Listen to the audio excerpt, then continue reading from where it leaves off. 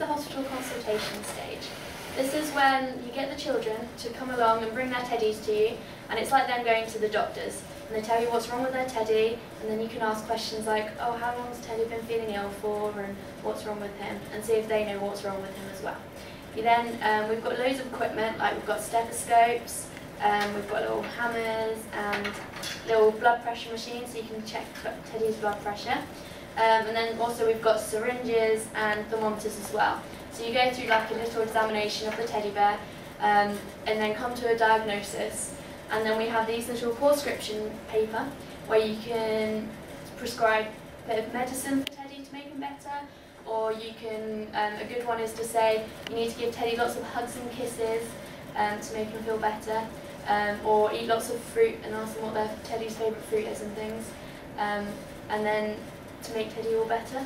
And that's basically it.